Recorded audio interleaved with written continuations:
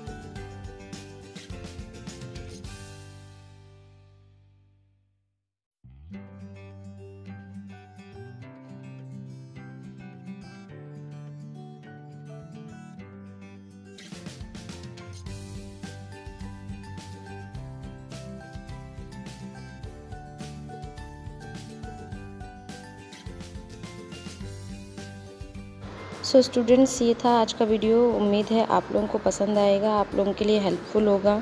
आप लोग इससे पढ़ करके इसे देख करके आप अपनी बुक रिव्यू तैयार कर सकते हैं बहुत ही आसानी से. एज़ इट इज़ कॉपी मत करिएगा. एज इट इज़ कॉपी करने का कोई मतलब नहीं बनता है. आप इससे हेल्प ले सकते हैं और अपने बुक रिव्यू तैयार कर सकते हैं.